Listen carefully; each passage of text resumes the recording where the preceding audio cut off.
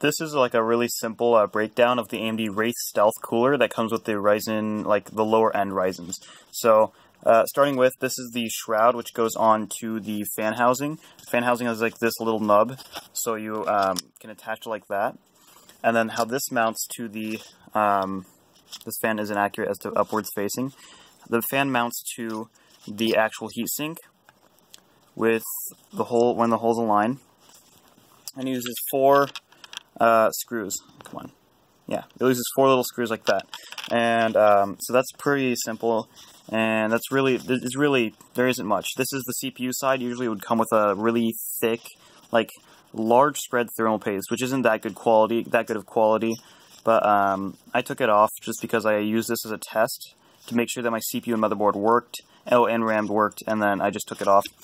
And that's the top side, um, where this is this is, uh, obscures it, so you usually don't see. And then uh, there's like a little bit of a cutout right here.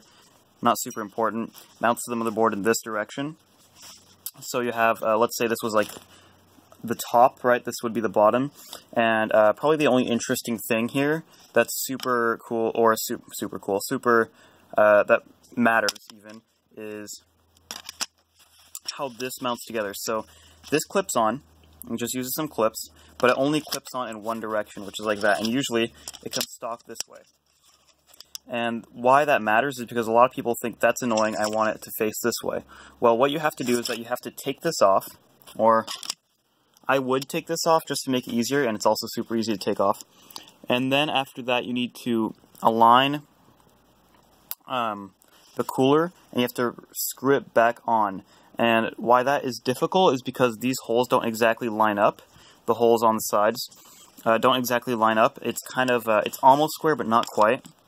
So what you have to do is you have to, like if that's the stock configuration, this is flipping it sideways, right? And it doesn't line up perfectly. You have to like kind of drill out the holes a little bit. Like this one here just completely is obscured. This one's clear. Oh, fiddle, now I moved it all. This one's clear.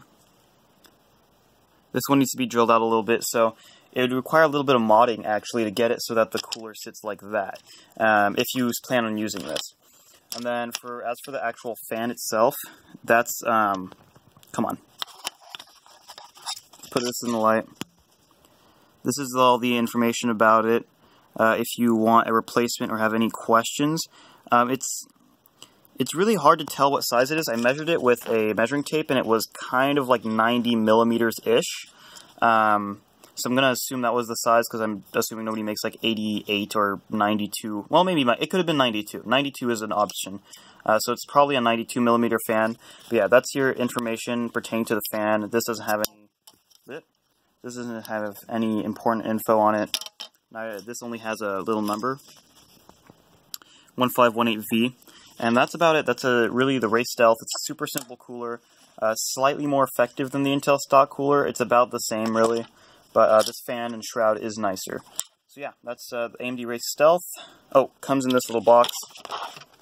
Not that that's much of much importance.